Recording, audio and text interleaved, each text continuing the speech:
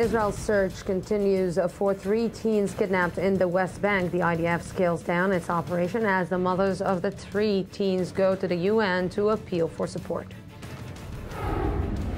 John Kerry arrives in Erbil and meets with Kurdish leaders in an effort to rally forces against the ISIL while the Iraqi military manages to repel militant attacks. And in a step aimed to reduce tension in eastern Ukraine, Russian President Vladimir Putin asks to revoke the power to invade Russia's neighbor.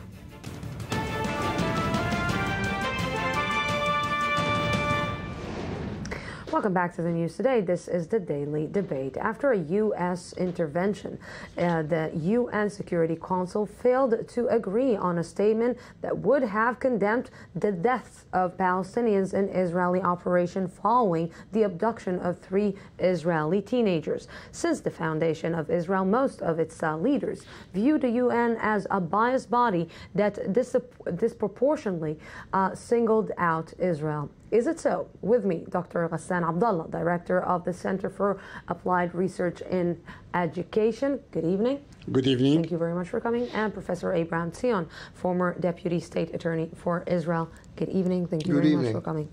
So, is it so? Is the UN a biased body that uh, disproportionately singles out Israel? There's no doubt about that. The UN, the history of the UN, especially in the last uh, 20 years, has been so biased against Israel to the form that even the Secretary General of the United Nations admitted that when he was in Israel. Uh, it's not just the kidnapping of the three kids, which is something which is in the most debased form. I'm talking about a strategic move. What what is being done here is that that uh, the weakness of this of the Israeli people has been observed by the Palestinians. And the weakness is the uh, uh, bringing back those who are kidnapped. And they know that this is uh, all you have to do is to kidnap five people, and then you have 5,000 murderers being released from prison. So it's, it's uh, uh, when the UN says that Israel has to cease this operation without even telling, forcing the Palestinians to give back those boys, is certainly very much biased. So, if we will ask uh, the Palestinians, the Palestinians will say that the UN is always pro Israel and they're always anti Palestinians.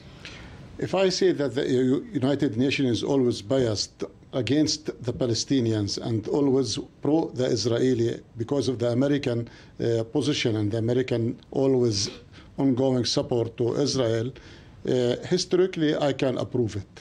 And all the daily deeds and the daily events can prove that.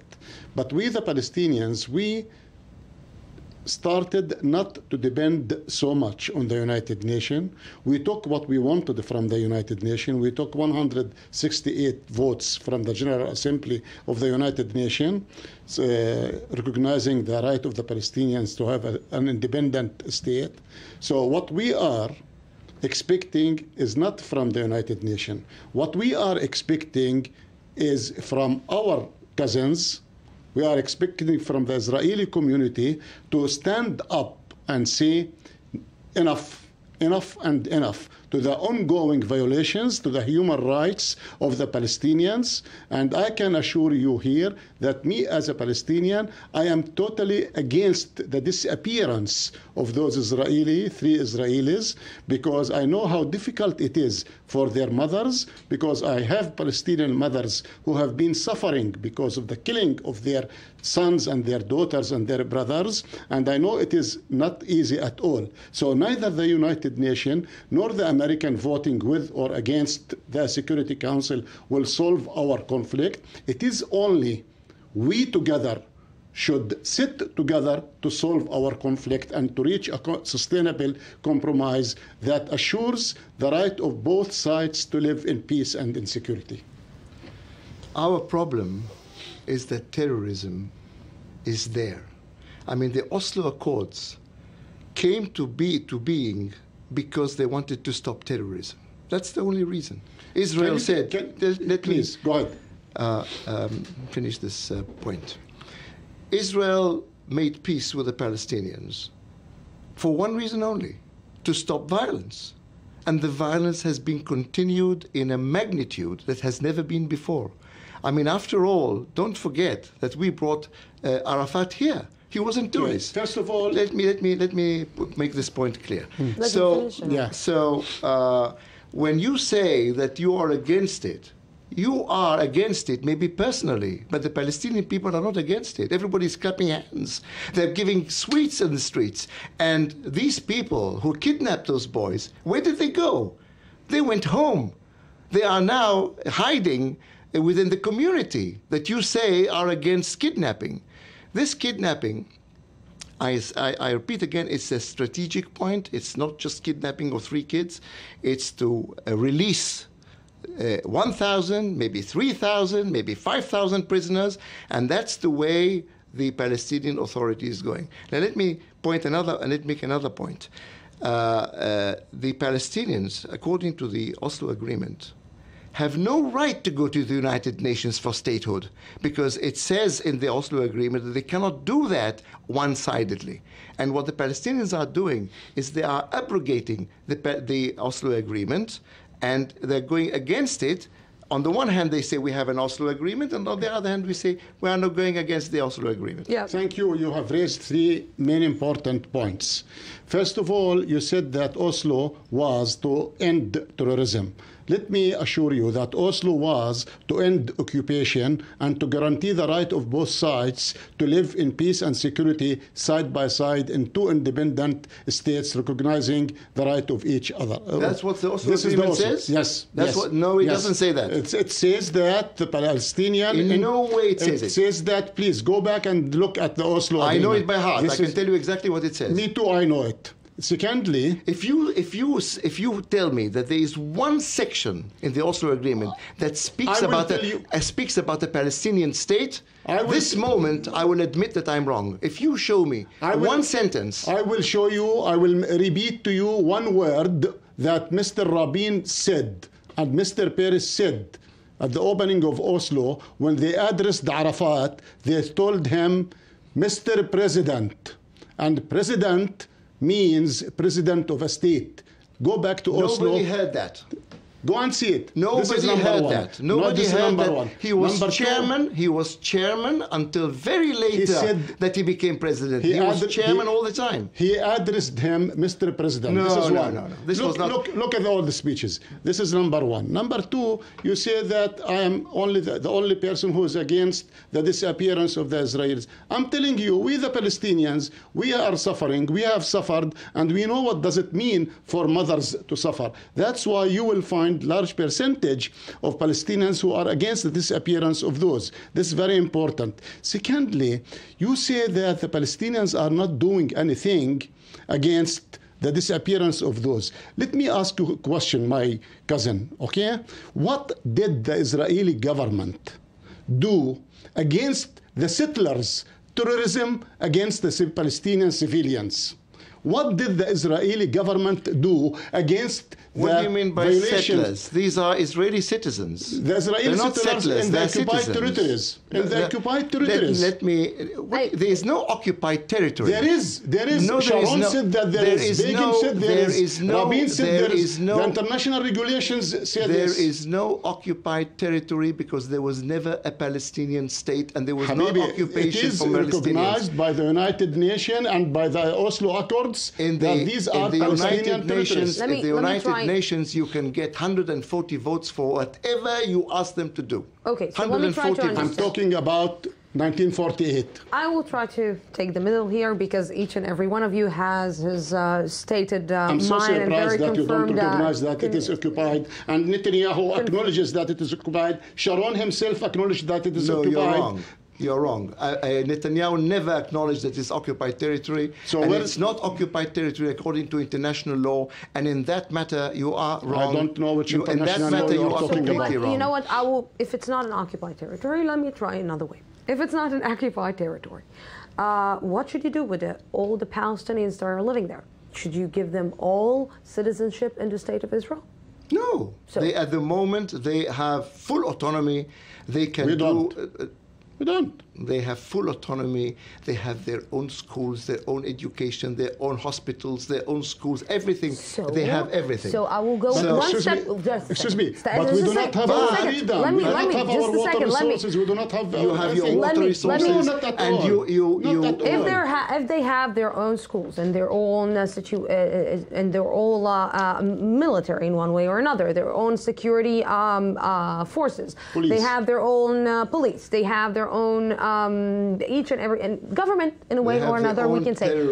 So why, at the end of the day, if they have all this, uh, let's say, um, uh, let's say, uh, pieces of the puzzle that conduct uh, a state, why shouldn't they they say at the end of the day, okay, you don't want to give me my independence, so I'm going to the UN and I'm going to ask my independence because I'm already a state, whether you like it or not, because you gave me the opportunity to be a state. Right, right, right. Israel gave the Palest Israel mm-hmm. gave the Palestinians the, the the authority to become a, a, a, an entity, not a state, but an entity. So it's- it is let their me answer you, but let me responsibility. answer With you. 610 military barriers in the West Bank the- only? The, the barriers started when you started terrorism, but there was no barriers before.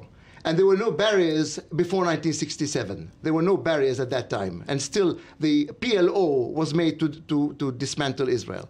But let me, let me point this Israel, the Oslo Accords say nothing about the Palestinian state. It says that there will be autonomy for five years, and afterwards they will decide what Yes. will happen. You agree to that? 1999, Well, I'm very yes. happy about that. I'm very, so they, there was no mention of a Palestinian state. Now, Israel was willing to give the Palestinian. By the way, Israel was the only country in the world, the only country in the world, who was in, in power to give the Palestinians a state because Egypt did not give them a state, Jordan did not give them a state. For 19 years, you did not get a state, and you did not ask for a state for 19 years. So Israel was the one who came. Israel was the one who came to Arafat and said, We want to give you, uh, we want to make peace with you. And the idea of the Oslo Agreement was not to give them a state, the Palestinians, but to make peace and to stop violence. Now, what will happen after five years? Okay. What will happen after five years is that we will decide what's going to happen. But Arafat did not wait for five years. After one year, buses started being bombed in, in, in cafes, in cinemas, You know who in all these this? places. You know Now- who started this? you know who started this? Who started it? The son that Israel created in 1985. The what? The son that Israel created in 1985. I mean Hamas, not Arafat. What's their son? Because Hamas was registered, you are a lawyer, Hamas registered first time in 1985 when the Israeli occupation was there in Gaza. It was the first Palestinian religious party to be registered formally under the occupation. You see? You have more democracy under Israeli rule I'm not than you have democracy. today. You know why? This is part of You know, democracy, by the way. cousin- they wanted to register. No, no, they did not say that they were terrorists. They want to use it as a joker against the PLO. This is what they wanted at that time. Uh, wait a minute. You, you, now the PLO and, and the Hamas are going together, and then they are, they are hugging each other. Now you're talking about Hamas as if uh, uh, uh, Hamas No, was but, uh, but different. uh, Mr. Sion, let's not forget uh, the fact that uh, i- it is the first time that we hear such a big condemnation from a Palestinian president. I think that even from uh, Yasser Arafat, you could not hear this condemnation about the current situation, about the kidnapping of the three uh, teens. And again, it seems that it's never enough because when you hear the Palestinian president saying out loud that if he will know and he will have the facts that Hamas is behind this kidnapping, he will make Hamas pay. This is what he said. He will make Hamas, he will break, well, he let's didn't say, say he will make this, Hamas uh, pay. He said he will have another talk with He will- those people. he will break- and- Hadith and-. He said we'll have another talk. Now this is a different matter. But but let me let me. It- let- it's not a let- different matter, but it- it's a because it different is connected, because it I says that you have No, a no. partner on the I other agree, side. I agree that the condemnation of uh, Abu Mazen uh, is is uh, something new. I agree. It never happened before. Is it his first but time? Don't for, don't forget. Is it his first time? His first time. No. His first time. But well, Even you're saying it's first time. No, it's, It's- the first it's time it's that a- he's saying it out loud, but He's he is saying not, it out it's not- loud in the Arabic language. It's the first time. Yes, As yes. far as I know. the, Maybe yes, I'm it's the first time in front of the uh, Didn't, Arab, uh, didn't he Arab condemn Yes. the other explosions right. and raids from right, right. He condemned. But that's all he did. That's all he did. Now, don't forget, he has much more knowledge what's happening in Palestinian houses than the Israeli army. I mean, I didn't see that he's done almost anything. I don't want to say anything because he's done something just to, to, to please the Americans and the, the UN. But he has not really gone as far as to get those, those people out One or to get the information statement out. because Do we're going on, think- uh, off air. What should he do? This issue, this event took place in Area C. It's not in Area E, A. And this is number one. Number two, do you think that Abbas has the power in the West Bank? Part of okay. that. So you say if somebody will- goes out of my finish- home, I will finish if somebody goes debate. out of, if somebody, if somebody goes out of my continue. home, We're going out for a small somebody break. in, in Two minutes, uh, uh, break, in- and then we will be back with the I-24 News one-on-one. That person is responsible.